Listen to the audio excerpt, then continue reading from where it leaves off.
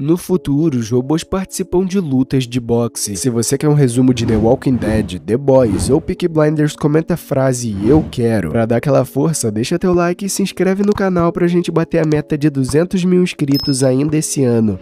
Charlie é um ex-lutador de boxe que agora participa de lutas entre robôs. Num evento que seu robô vai lutar contra um touro, mesmo não tendo dinheiro nenhum, ele fecha um acordo de 20 mil reais com um apostador de lutas chamado Rick. Assim que a luta começa, o robô de Charlie parece ter grandes chances de vencer e dá uma surra no touro, só que Charlie acaba se distraindo e o touro avança arrancando a perna do robô. Charlie levanta o robô, mas logo em seguida o touro parte para cima de novo e destrói a máquina completamente, assim terminando a luta. Como não tinha dinheiro para pagar a aposta, Charlie se apressa para sair do ringue. Nessa hora, dois homens se aproximam e Charlie acerta socos nos dois, só que eles dizem que só estão ali para dar a notícia de que sua ex-namorada faleceu e ele vai ter que ir até uma audiência pela guarda do seu filho. Chegando na audiência, ele encontra os tios do garoto que querem adotar a criança por serem ricos e assim o menino não passaria dificuldades. Charlie então faz um acordo com Marvin de dar a guarda do seu filho para o casal em troca de 100 mil dólares, só que antes o garoto passaria o verão com ele. Depois disso, ele vai até a academia de luta onde sua namorada Bailey trabalha fazendo manutenção e restauração de robôs, até que Marvin chega entregando metade do dinheiro do acordo. Ele abre a porta do carro e se despede do garoto Max, que vai ficar com seu pai até o final do verão. Com o dinheiro do acordo, Charlie compra o seu novo robô japonês para voltar a lutar. Ele liga a máquina e Bailey diz que o robô possui reconhecimento de voz, só que quando Charlie tenta dar ordens ao robô, ele não responde. Até que o garoto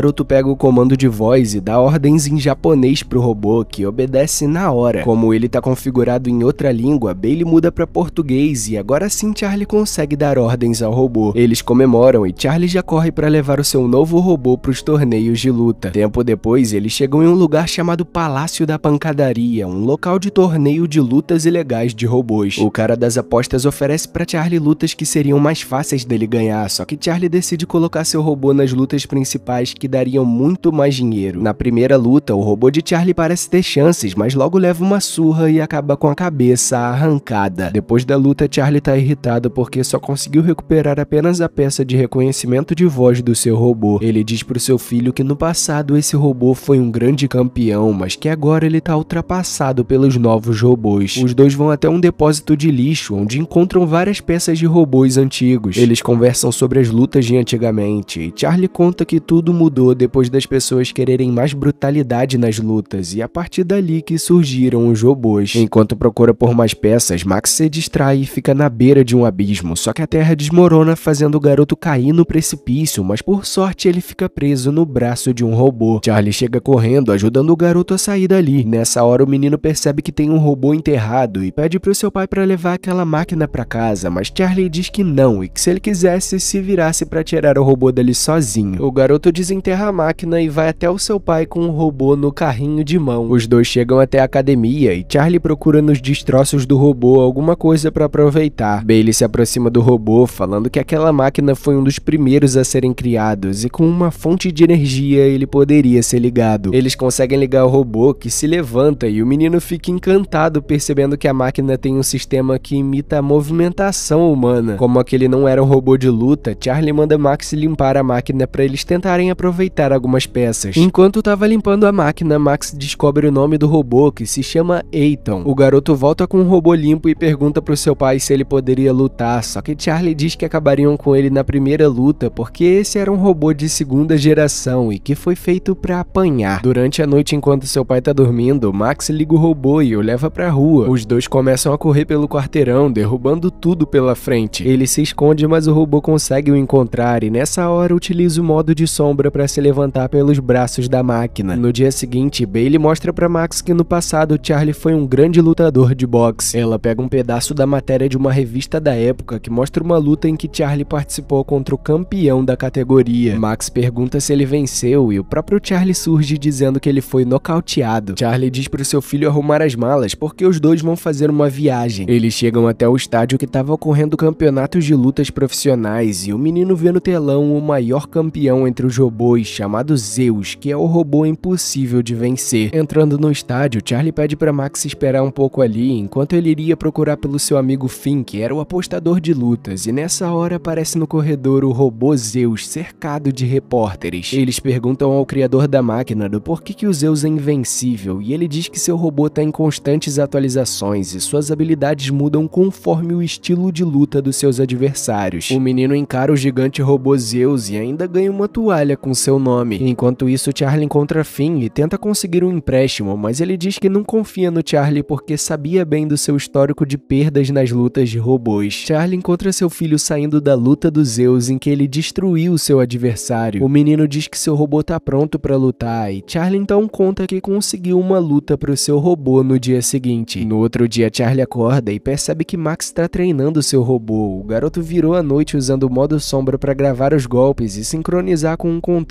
Os dois chegam até um rancho de luta e encontram um cara chamado Kingpin. Charlie faz uma aposta com ele de mil reais para que seu robô consiga ficar de pé durante todo o primeiro round. Eles entram no espaço de luta onde várias pessoas gritam ansiosas pro combate. Max prepara seu robô e diz que ele que vai controlar dessa vez. O round começa e seu robô não tá conseguindo acertar os golpes, mas continua de pé. Até que o robô Ethan começa a apanhar muito e percebendo que faltam apenas 30 segundos pro round acabar, Charlie pede para Max manter o robô de pé porque o objetivo é não ser nocauteado. Só que Ethan toma um soco e cai no chão. Faltando poucos segundos para acabar, Max consegue levantar o seu robô, assim vencendo a luta. Kingpin se aproxima e oferece mais mil reais pro robô Ethan se manter de pé no segundo round. O garoto aceita e a luta começa. Sabendo controlar melhor, Max consegue desviar e dar um golpe no robô adversário, que o faz dar falha no sistema, assim caindo no chão, e de novo o robô Ethan vence a luta. Eles recebem o um dinheiro da aposta e um homem aparece oferecendo mais uma luta pro robô Ethan daqui a dois dias, valendo 20 mil reais. Eles pegam a estrada se hospedando num hotel e lá Charlie grava uma mensagem para sua namorada dizendo que o robô de Max tinha vencido sua primeira luta. Enquanto isso, Max está dentro do caminhão configurando um dispositivo para o seu robô. No dia seguinte, Max treina seu robô com o modo sombra para que ele consiga ter mais movimentações na perna. Enquanto escuta uma música, logo percebe que o robô está imitando seus movimentos e ele começa a dançar. Charlie aparece e o menino diz para o seu pai que pegou os dois robôs antigos e fez uma adaptação, pegando reconhecimento de voz e colocando no seu novo robô. Como o robô ainda não sabia lutar muito bem, Charlie começa a ensinar alguns golpes para que ele conseguisse usar nas lutas. Nas lutas seguintes, o robô Ethan aplica vários novos golpes, conseguindo vencer os outros robôs com muita facilidade, fazendo eles ganharem muito dinheiro e destaque no cenário das lutas. Com o robô Ethan fazendo muito sucesso, eles receberam um convite para participarem da Liga Profissional dos Robôs, onde os melhores robôs disputam para saber qual deles é o melhor. Eles aceitam um convite e o garoto aproveita para melhorar algumas peças do seu robô. Chegando na área VIP do prédio, eles são recebidos pela Farah, que é participante da equipe do robô Zeus. Ela oferece 200 mil reais para comprar o robô dos dois e Charlie aceita, só que Max diz que o robô não tá à venda e vai embora. Charlie corre atrás do garoto dizendo que era um bom negócio porque o robô deles não teriam muitas chances com os robôs da liga profissional, só que o menino não aceita de jeito nenhum e segue pra luta. Antes da luta, vemos o robô que vai ser o adversário deles, conhecido por ter duas cabeças. São chamados no ringue Max e seu robô, que entram fazendo uma dancinha e levantam toda a animação do público. Depois de dançar, eles se preparam e a luta começa. Os dois se acertam vários golpes, só que o robô de duas cabeças é muito forte e acaba encurralando o robô Eiton no canto do ringue. Charlie encontrou um ponto fraco no ombro do robô inimigo e assim que Eiton consegue sair do canto, dá um golpe no ombro do robô e parte para cima com um soco no queixo, fazendo o robô de duas cabeças cair no chão nocauteado, assim vencendo a primeira luta. Max pega o microfone dizendo para a equipe do robô Zeus que o Eiton não estava à venda e para provar que seu robô é o melhor, ele desafia o maior campeão, o robô Zeus, para uma luta no dia seguinte. Quando estavam indo comemorar a vitória, o apostador Rick aparece cobrando o dinheiro que Charlie estava devendo. Charlie então dá um soco em um dos homens do Rick sai correndo com seu filho, só que eles são alcançados pelos homens que dão uma surra em Charlie, pegam o dinheiro e vão embora. Charlie resolve levar o garoto de volta para casa da sua tia, dizendo que vai ser mais seguro para ele, mas o garoto fica revoltado porque não quer deixar as lutas de robô. Marvin se aproxima para dar outra parte do dinheiro, só que Charlie recusa e volta até a academia da sua namorada. Pela manhã eles conversam e Bailey diz que quando o garoto estava se aproximando de Charlie, ele o mandou de volta e que ainda dava tempo de fazer o seu papel papel de pai. Charlie então se arrepende e volta até a casa dos tios do garoto pedindo para conversar com ele. Charlie pede desculpas por ter abandonado ele quando criança e convida o menino para lutar contra os Zeus na liga profissional junto do seu robô. A tia libera o menino apenas por uma noite e assim os dois seguem estrada em direção ao evento. Na arena aparecem os apresentadores comentando sobre a luta do robô Zeus contra o robô Eiton. Vemos Charlie e Max entrando e vários repórteres tirando fotos. Eles entram na arena e o público vai à loucura quando eles colocam o robô no ringue. O apostador Rick aparece e aposta 100 mil reais que o robô de Max não vai vencer os Zeus na luta. De repente o estádio fica em silêncio e Zeus aparece em uma apresentação triunfal. Ele para em frente ao ringue, faz um salto e cai dentro do ringue. O apresentador diz que o combate vai ter 5 rounds e apresenta os dois robôs, assim dando início à luta. Os robôs se aproximam e Zeus dá um único golpe que derruba Eiton. Charlie ordena para que o robô fique de pé e Eiton se levanta, mas cai de novo em poucos segundos. Antes da contagem acabar, ele consegue se levantar, só que recebe muitos golpes de Zeus e fica encurralado no canto do ringue. Charlie ordena para que o robô saia do canto, mas não adianta e Zeus dá um golpe fazendo Eiton cair de novo. No último segundo da contagem, o robô se levanta e consegue dar um gancho em Zeus. Ele avança conseguindo desferir vários golpes, só que Zeus cerca Eiton e dá vários socos. Antes de dar seu golpe final, o gongo toca e o primeiro round termina. Max e Charlie sobem no ringue para fazer reparações no robô. Enquanto isso, Farah questiona Taki sobre o que está acontecendo com Zeus e Taki responde que tá tudo sob controle. Começa o segundo round e Eiton apanha bastante, só que também acerta alguns socos em Zeus. No terceiro round, os dois trocam socos até que Zeus acerta um gancho no Eiton que cai no chão, mas logo ele se levanta. O quarto round começa e eles trocam golpes violentos. Eiton recebe um soco que o deixa atordoado no canto e Charlie percebe que o reconhecimento de voz do Eiton falhou, mas logo em seguida o round acaba.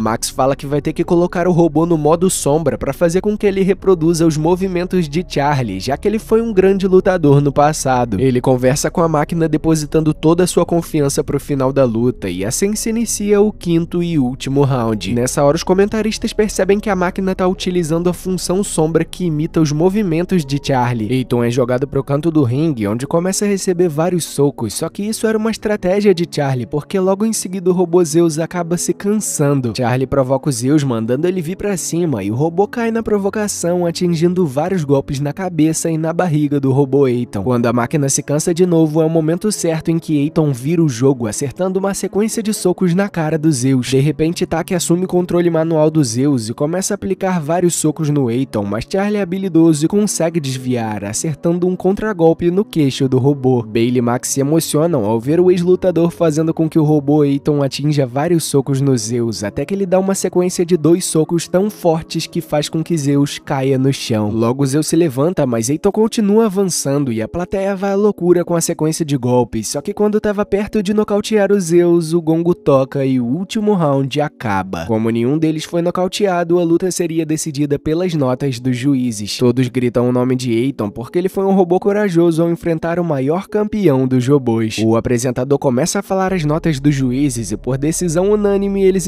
escolheram que o vencedor da luta foi o Zeus. Deixe seu F nos comentários pelo Eiton. A plateia vai à decisão dos juízes e começam a gritar o nome do robô Eiton. O repórter chama o garoto e diz que o novo apelido do robô Eiton é o campeão do povo. Então Charlie leva o robô Eiton para o meio do ringue junto do seu filho e eles levantam os braços como os verdadeiros campeões. Pera, pera, pera, vou te apresentar duas opções de filmes para você votar nos comentários se você quer a opção 1 ou a 2. O filme número 1 se chama Solo. Esse homem tá indo surfar em uma ilha bem isolada, só que ele acaba sofrendo um acidente caindo de um penhasco. Na queda ele fratura a bacia, o que o impede de andar. O problema é que ele não tinha sinal de celular para pedir ajuda. A maré tava subindo e o puxava em direção ao mar. A gente vai acompanhar a jornada e tudo que ele fez para conseguir sobreviver. O segundo filme se chama Arrebentando na Prisão. Nessa história a gente vai acompanhar acompanhar um homem que acabou de ser condenado a seis anos de prisão e, com medo dos presos, ele acaba treinando artes marciais para estar tá preparado para sobreviver. E aí, vai escolher o primeiro ou o segundo filme? Esse foi o recap de hoje. Deixa o like, se inscreve no canal e até o próximo vídeo.